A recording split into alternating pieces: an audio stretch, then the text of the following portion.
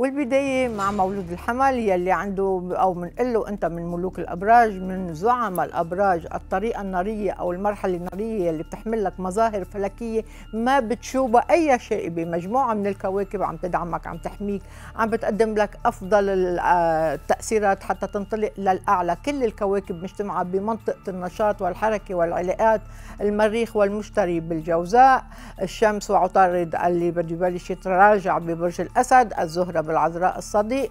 كل هالكواكب بتأمن لك منصب عالي شهرة حركة شعبية وحلول. أنت الأكثر إقناعا حاول أنك تستغل هالميزة حتى تدفع بأمورك نحو الأعلى خاصة الأمور المالية يلي رح توصل للمكاسب والأرباح. أسبوع قوي بيحمل نوع من أنواع المبادرات الجديدة حتى تحسن أمورك وظروفك. احتمال أنه يكون في عندك احتفالات بحياتك الشخصية والمهنية مع وجود القمر الجديد إلى جانب الشمس وعطارد بالأسد الصديق واللي بيأمن لك ظروف ممتازة جدا. حاول أنك تستفيد من هالتأثيرات الحلوة لتوصل للنجاح للحب للازدهار للتفاهم للتعاطف وقدرة على المفاوضات.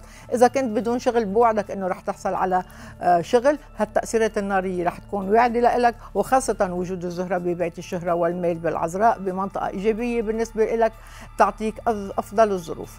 البداية مع نهار السبت وجود القمر بالسرطان بموقع معرقل مطلوب منك انك تترقب وتنتظر ما تصب الزيت على النار وكلمة صغيرة بتشعل خلالها الأمور. ما تفقد السيطرة على أعصابك مع بداية هالأسبوع المتقلب من أقصى اليمين إلى أقصى الشمال. حاول إنك تتجنب كل المغامرات والاستفزازات الخطيرة والتطرف على أنواعه. تختفي كل هالتناقضات يومي الأحد والاثنين مع ولادة القمر الجديد ببرج الأسد الناري الصديق وهيك بتعيش بداية صفحة جديدة على كافة المستويات بتتصالح مع حالك بتسجل نقاط مهمة أو انتصارات كثيرة على كافة الأصعدة ورح تمارس كمان نجومية مطلقة وجاذبية كبيرة. تلتقط الفرص من كل مكان وبتستعيد ثقتك المطلقة بالنفس. هالأمر يلي بيسهل لك أمورك وبيفتح قدامك الطريق وبيخليك من الأفضل الأبراج بتضمن تضمن النتائج الرابحة أيام حاسمة بحياتك المهنية والمالية.